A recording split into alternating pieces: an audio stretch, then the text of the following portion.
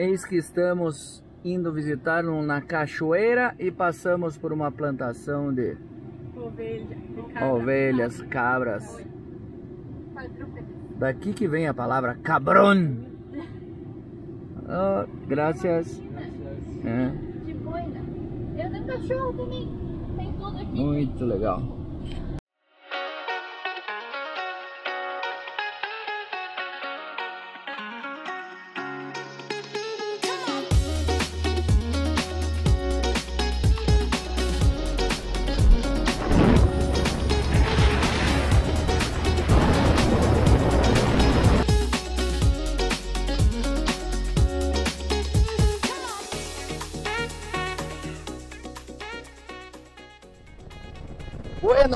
Dias! Hoje, galera, é o quinto dia de rodagem. Estamos só rodando por enquanto. Hoje estamos indo, hoje a gente chega nos Andes. Hoje é o nosso último dia de rodagem. A partir de hoje, né? A gente já vai começar a pegar os Andes, aí já começa a virar passeio. Ah, aqui até aqui também foi passeio, né? Olha lá no painel, ó, 3 mil quilômetros. Isso saindo de Maringá, né? Gente é de Curitiba, mas a gente tem família em Maringá. A gente passou o Natal lá em Maringá e saímos de Maringá. Então hoje é o quinto dia, mas são, ah, mas é, são muitos dias de rodagem, tem que ficar rodando. É, é que a gente tá indo lá para baixo, né? A gente tá indo lá pro lado da região dos Sete Lagos, Bariloche. Então, óbvio que vai rodar muito mais. E acabamos de fechar os 3 mil quilômetros primeiros. Sensacional, estrada é um tapete. Hoje tivemos que fazer uma pequena mudança de percurso, que a gente ia até Chosmalau e decidimos ir para Zapala, porque a gente ia pegar Ripple. Como a gente está muito carregado e tal, ia começo de viagem, preferiu não arriscar. E a gente não sabe se vai ter Ripple ou não, mas a gente preferiu ir por um lugar mais seguro, assim. Daí vamos começar a descer de Zapala, né?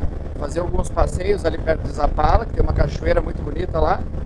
É, daí o nome da cachoeira é Salto del Agrio. É, que é super bonita. Daí nós vamos visitar lá essa cachoeira, provavelmente. E daí a gente começa a descer. Aí é só passeio, né? Então hoje mais um dia de rodagem. A expectativa é que a Busanfa não incomode tanto quanto ontem, né? Porque ontem nós andamos 800, hoje é 650, então dá 150 km a mais. Mas hoje também a gente vai parando mais, sabe? Porque a nossa previsão de chegada é 3,5, aqui rende muito, né? As estradas são muito boas. Então a gente vai fazer mais paradas para não exigir tanto do corpo.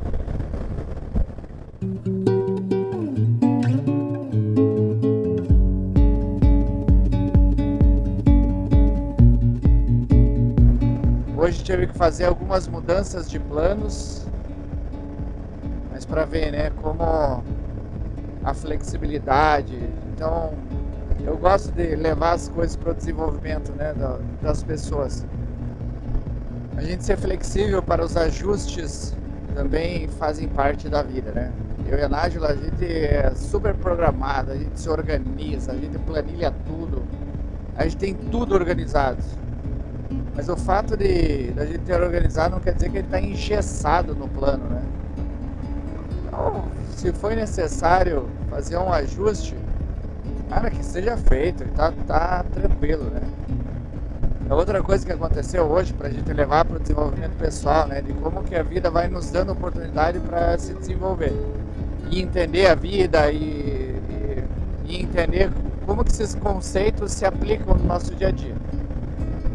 Tem questão do controle do estado, né? Dessas retas. Você olha e fala, ah, mas pô, a galera começa a perder a paciência. E, e muitas vezes eu me pego nesse lugar também de, de perder a paciência, sabe? De querer acelerar. Você fala assim, ah não, não aguento mais isso aqui. Porque a vegetação não muda. Ela fica ali, ela tá estática. Tá aqui, ó. É, é isso aqui, ó. E é uma reta infinita.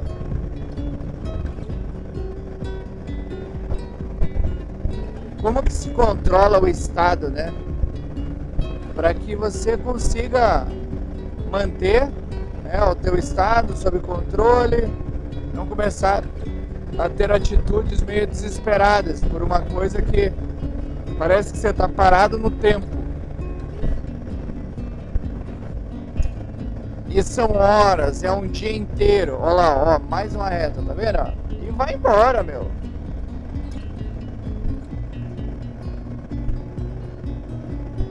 Então a primeira variável quando a gente pensa em controle de estado é pensar pensar sobre o pensamento. Tipo, quais são os pensamentos que me vêm quando surge isso? Então, por exemplo, se você pensar, pô, que saco, não aguento mais essa reta, ah, nossa, tá muito calor. Se você começar a pensar nas coisas ruins, é normal, é óbvio que você vai querer sair daqui. É óbvio que você vai querer acelerar, é óbvio que você vai ficar irritado. Agora, quando eu, penso coisas melhores, então, por exemplo, o que, poderia ser essas coisas melhores? Né? É começar a pensar, falar assim, pô, eu tô tendo oportunidade, eu tô cada vez mais perto, tem o, o pré-antes, né, que é um pouco antes dos antes. Pô, eu tô cada vez mais perto de lá, sabe? Tipo, pô, eu tô uma esposa, isso aqui é uma velocidade segura, que bom que não tá ventando, porque isso aqui venta demais. Então, teriam tantas outras coisas que poderiam piorar esse contexto e que eu penso e eu fico satisfeito. Então, pô, que bom que eu tenho uma moto confortável para passar por isso. Pô, esse é o meu teste de paciência. Vamos ver como é que eu estou controlando minha paciência.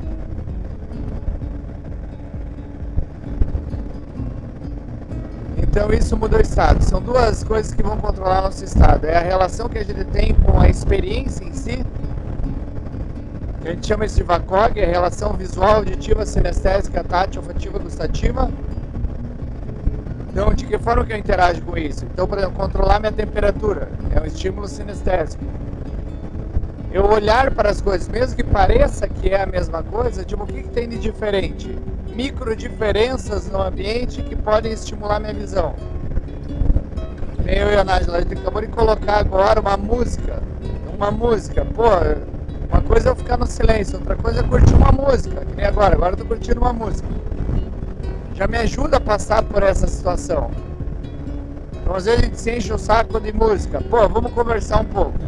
Gente conversa. Então é estímulo auditivo. Então com isso a gente consegue sustentar o estado por mais tempo. Qual é o estado que eu preciso agora? É o estado de paciência eu com estado de paciência eu consigo passar por um dia que vai ser difícil por quê? Porque ele é muito longo, ele é muito extenso, com pouca variação de visual até a gente chegar. Ah, olha a pontezinha que linda, meu amor. Nossa, que legal! Olha, é uma represa. Olha aqui, meu amor. ah, certeza que essa piazada pula dessa ponta aqui. Caraca, olha lá, meu amor. Meu Deus, agora pensa a gente com calor de 34 graus vendo uma água dessa. Será que dá vontade de pular de roupa de moto e tudo lá dentro, não?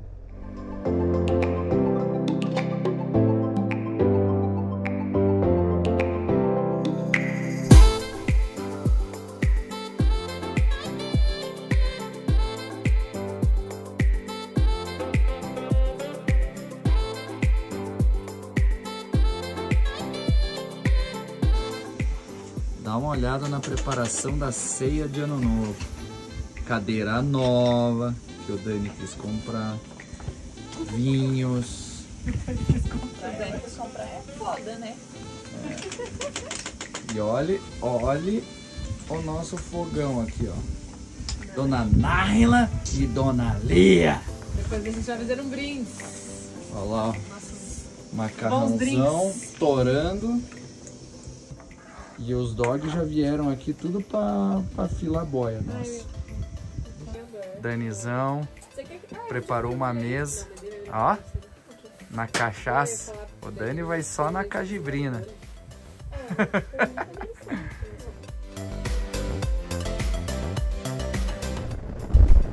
dia, agora oficialmente no primeiro dia de passeio. Estamos indo para Caviarre, alguma coisa assim. Coparre, uma cidadezinha. E já vimos várias montanhas nevadas. Yuhu! Tá muito legal. Agora começam nossos passeios. Tanto é, agora acabaram nossos dias de rodagem, agora é curtição, agora aqui é passeio. E você, João? Então gente tá muito mais tranquilo. Claro que a gente quer ver o maior número de coisas possível, né? Mas hoje a gente já aproveitou, já deu uma descansada dos dias de rodagem. Agora são 10h20, estamos saindo agora. Então podemos relaxar um pouco. E aqui, né? Aqui já é Patagônia, né? Então aqui o clima é meio meio instável o negócio. Então hoje já fez frio e choveu agora de manhã. Aí ventou um monte, ó, chove, aí abre tudo, venta, aí de repente já fecha tudo, já chove de novo. E lá cidadezinha que a gente tá indo, a a previsão a mínima é de 3 graus. Então pode ser que a gente pegue um, uma friaca lá. Então estamos. Agora o que aconteceu?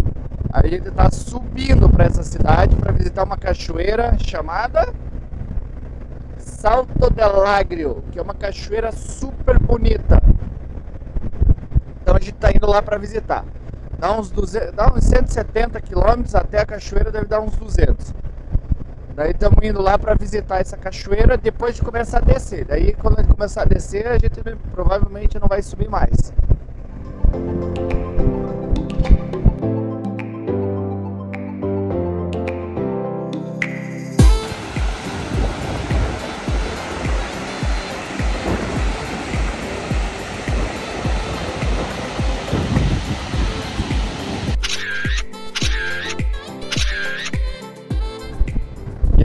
Começam Los Andes. Uhul! Olha que legal, nosso primeiro riozinho da Patagônia. Já é lindo. É. Vamos ver. Ó, galera. Nossa, água limpinha, meu amor. Uhul! Olha o que, que é esse paredão, meu. Meu Deus. Primeiro vale gigante que a gente pegou nessa viagem. Olha isso.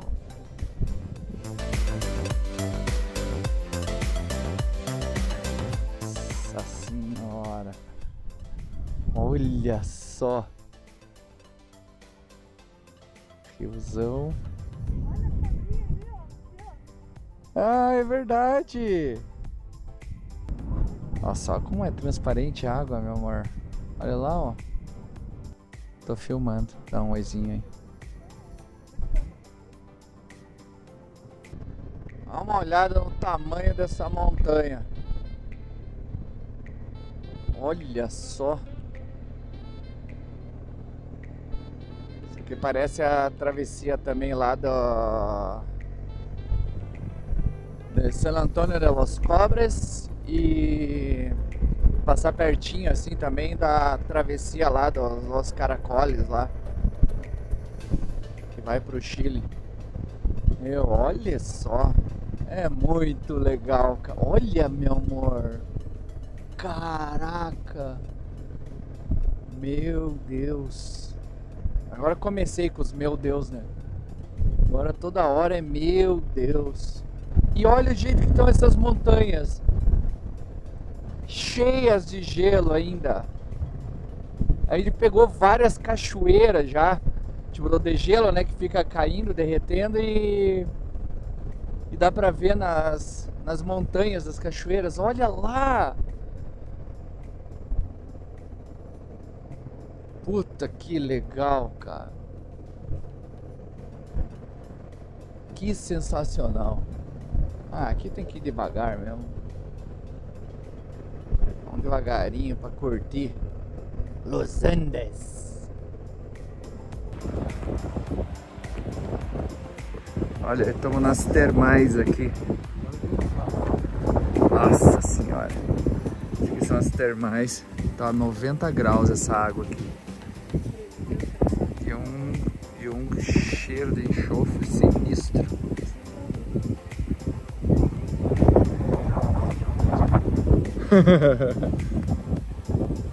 Olha que sinistro.